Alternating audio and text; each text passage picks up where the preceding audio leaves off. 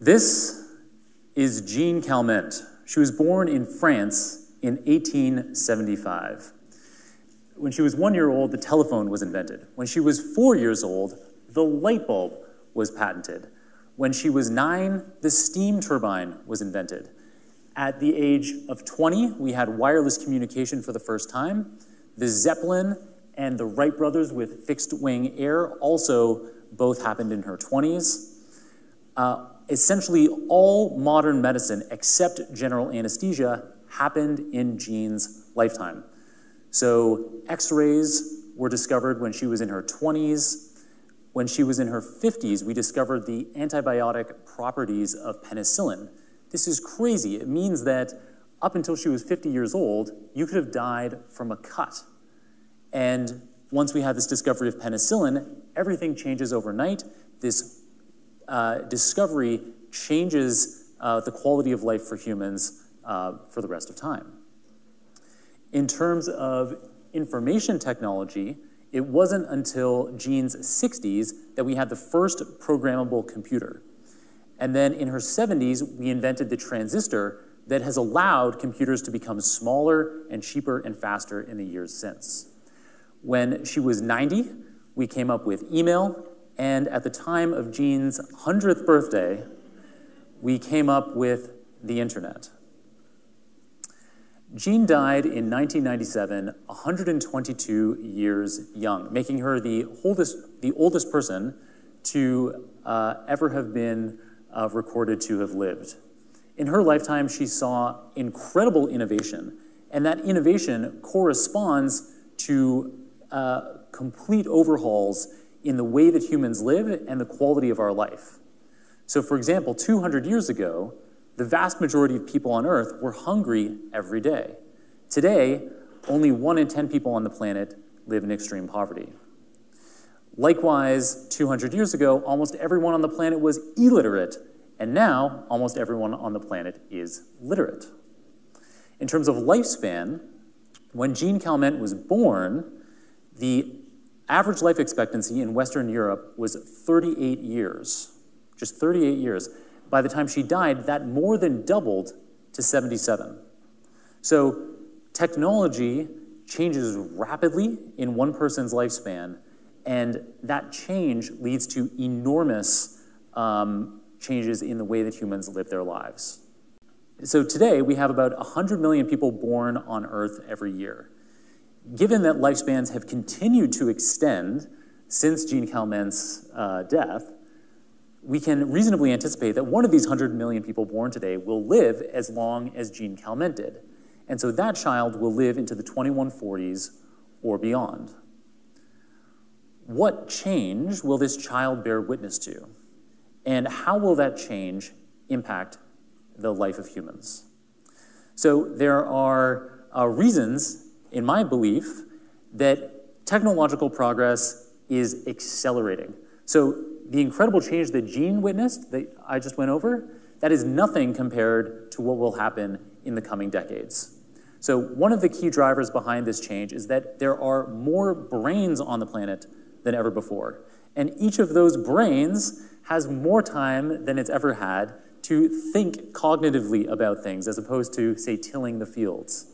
So we have way more brains, way more thinking time per brain, and those brains are all connected well, most of them are connected in real time over the internet, such that if there's a new paper published, a new line of code is uh, created, that is uploaded uh, into servers online and you can access them in real time. So lots of brains thinking lots and sharing that information with all the other thinking brains.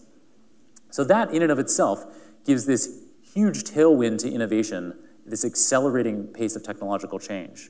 But there is another wild card outside of human intelligence that is going to make an even bigger difference in the coming decades, and that's artificial intelligence.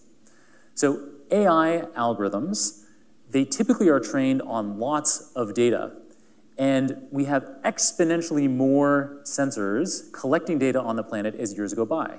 So your wearable devices, your smartphone, self-driving cars, industrial sensors, all of these are propagating around the planet, and collecting more and more and more data. So lots of data for training our AI algorithms, and storing those data is becoming exponentially cheaper as years go on.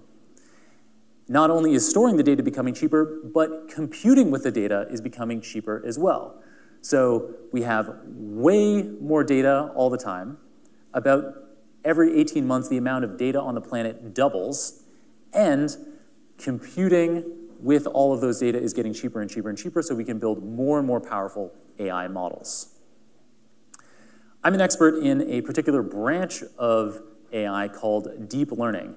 And so to give you a little sense of how deep learning works, I have up on this slide um, a schematic of an artificial neural network, also known as a deep neural network or a deep learning system. And so it consists of a few dozen artificial neurons that are inspired by your biological neurons in your brain. So all of the white boxes here are these artificial brain cells. And on what we're trying to do in this diagram is we have taught an algorithm how to recognize the spiral shape. So it can detect whether there are orange dots or blue dots based on their location alone. And so the first layer on the far left, there's eight of the uh, white boxes on the far left. Those are artificial neurons. The first layer, they all detect straight lines at specific orientations, just like the first brain cells in your brain that receive information from your eyes.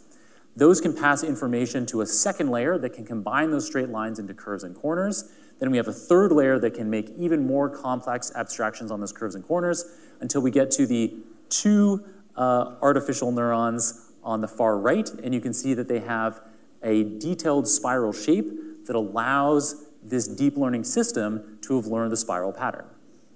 Now, learning that spiral pattern, it's relatively simple. So we only needed a couple of dozen artificial neurons to do it. But thanks to the abundance of sensors and data storage and compute power that we have and that's exponentially increasing as years go on, we can train much, much, much larger AI systems. So the biggest AI systems today don't have a couple dozen neurons like this, they have trillions of them.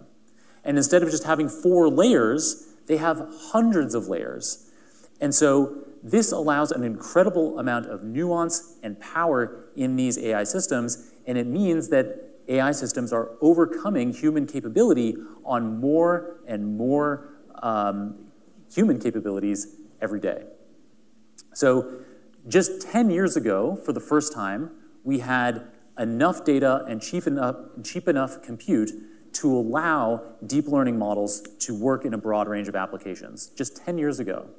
And now, they are ubiquitous. You interact with deep learning models dozens of times a day. When you look at your phone and it recognizes your face, a deep learning model is doing that. When you speak to your phone and it converts your audio into text, a deep learning system is doing that. When you do a web search and, you're, and you find instantly what you were looking for, that web search was guided by deep learning. So as we have way more data and much cheaper compute in the coming decades, how is that going to impact um, our human lives? Things are going to accelerate dramatically. So for climate change, for example, today, AI systems allow energy to be much more efficiently allocated in an electrical grid, so we waste less energy. In the future, AI systems will help us design uh, better climate technologies, like more efficient solar panels, and AI is even playing a leading role today in helping us achieve nuclear fusion. I earlier spoke about lots of brains on the planet. Those brains are going to want to eat. And we're, so we're going to need to feed billions more people in the decades to come, and AI is going to play a big role in that as well. So AI today already is helping with the automation of farming. So machine vision systems can help with, um, with agriculture and have fewer hands tilling the fields, so we're more efficient with the manual labor that we have in the fields. In the future, AI will play a key role in um, increasing uh, crop yields further, in uh, engineering um, plants so that they have more nutritional value, so that they are hardier to the climate change that is coming.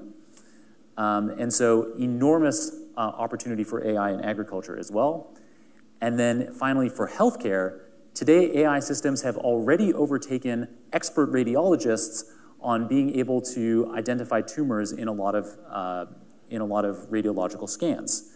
AI systems today also are far better at predicting the molecular structure of biological compounds than humans could ever imagine they'd be able to do.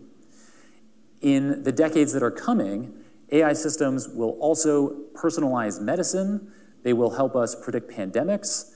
Uh, AI will help us to design pharmaceuticals. They'll take care of the elderly. So there is an enormous amount of application areas for AI in medicine and health.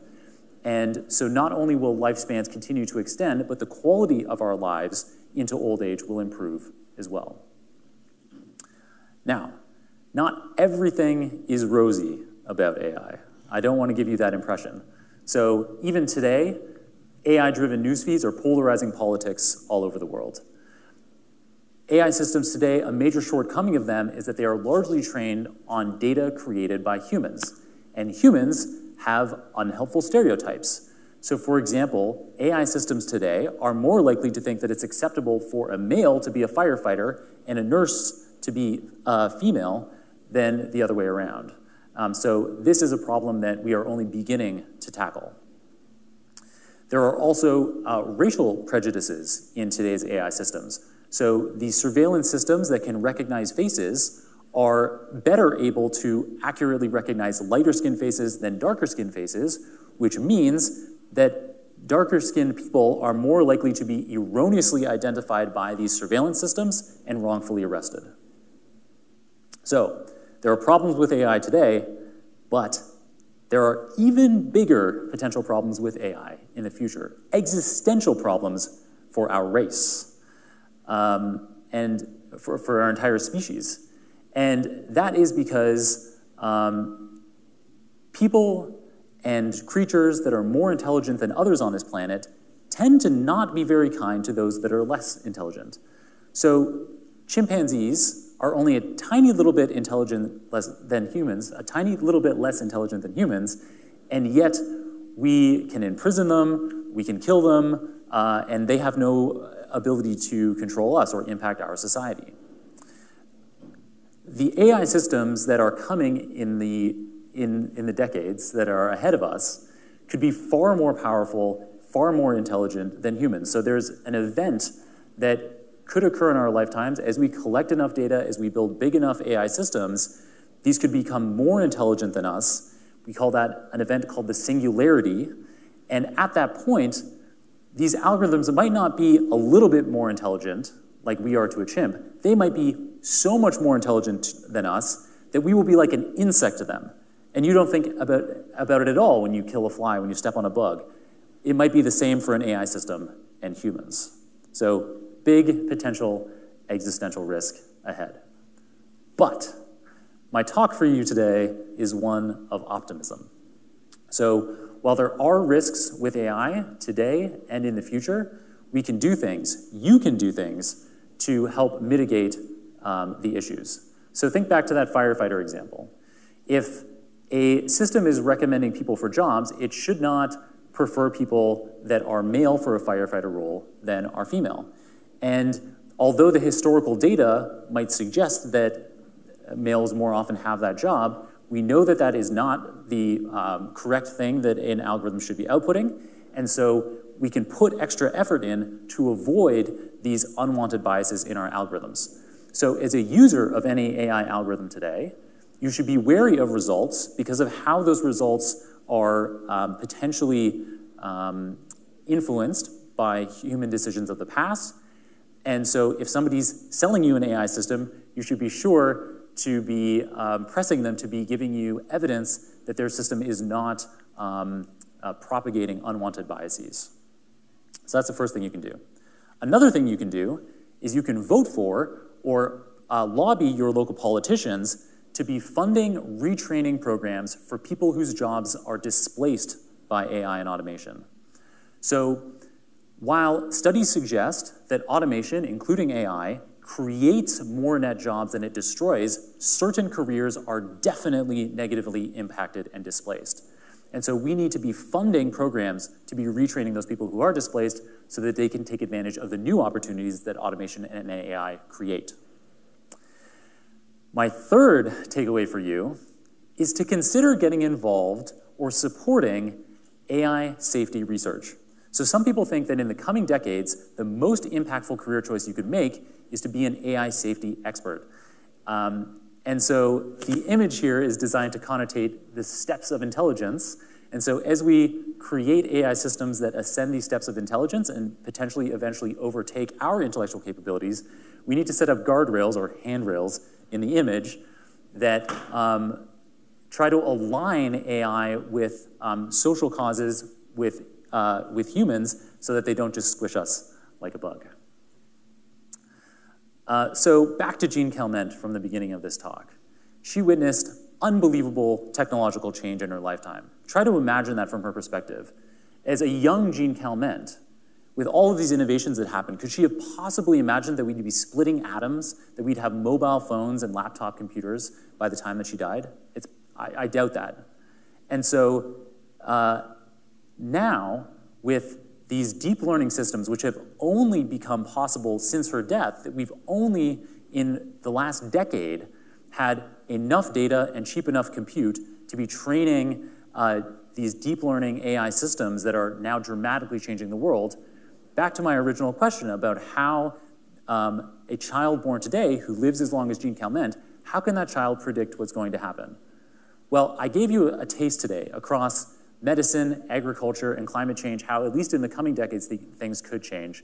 But as our deep learning systems, as our AI systems become more and more advanced, I can't see beyond the next few decades, and I'm not sure what's going to happen. But if you take some of the steps that I suggested today, you can help us create an AI future, a technological future, a level of abundance and prosperity that um, we can't even imagine today.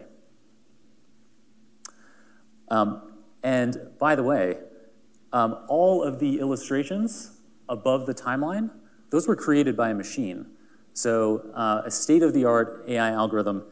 And um, it doesn't necessarily, so I gave it various text prompts, and they didn't always turn out incredible. So here's one. Uh, I said, cartoon of a robot building a futuristic home, and this is what it gave me. In a few years, this will be doing an incredible job of that kind of image. So stay tuned and look out for that radically abundant future.